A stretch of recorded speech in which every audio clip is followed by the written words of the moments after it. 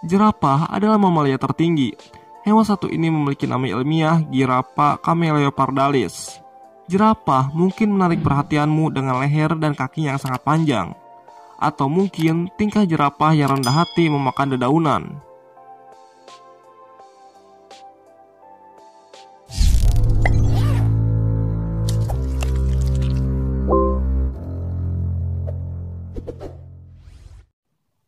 Jerapah betina umumnya memiliki kaki yang tingginya 6 kaki atau sekitar 1,8 meter.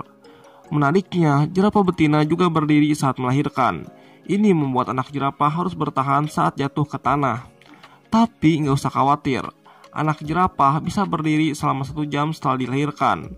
Biasanya, anak jerapah yang baru lahir memiliki tinggi 1,8 meter dan beratnya sekitar 100 kg.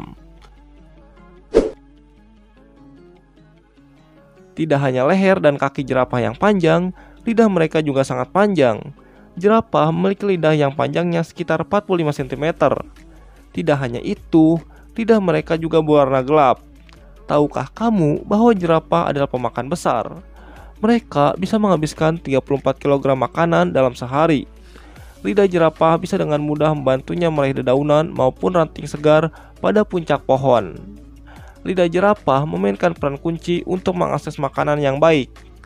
Selain itu, lidah jerapah juga bisa mencegah dari terbakar sinar matahari, sebab lidah jerapah akan sering terpapar sinar matahari saat meraih dedaunan.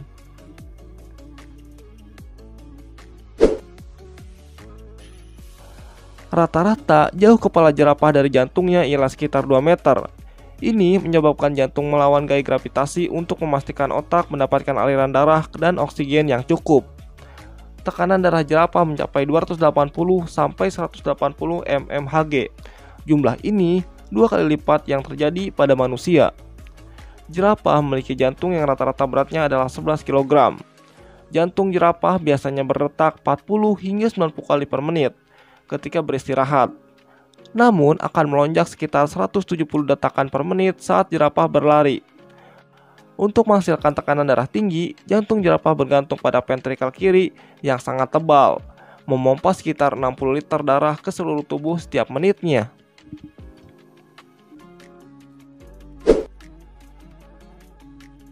Jerapah rata-rata hanya tidur 4 atau 6 jam per harinya. Setiap siklus tidur mereka hanya berlangsung selama 35 menit. Biasanya itu dilakukan saat malam hari, walaupun juga biasanya mereka tidur di siang hari. Jerapah biasanya tidur sambil berdiri atau berbaring. Jerapah tidur berbaring saat ada jerapah lainnya di sekitar mereka yang mengawasi.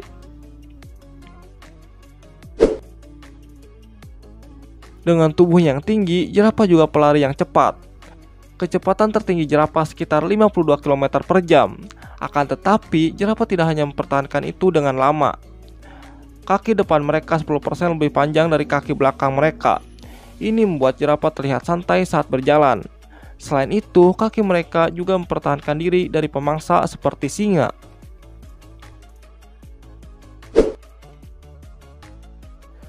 Corak pada tubuh jerapah itu unik. Tidak ada jerapah yang memiliki corak yang sama.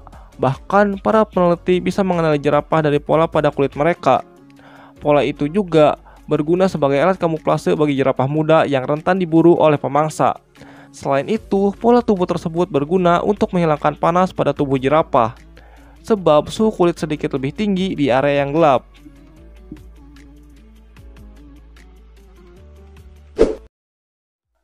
Terima kasih yang sudah menonton video kali ini, dan sampai jumpa lagi di video berikutnya. Jika kalian suka dengan video kali ini, silahkan boleh di like dan di subscribe. Bila ingin binatang lainnya yang dibahas, silahkan tulis saja ya di kolom komentar.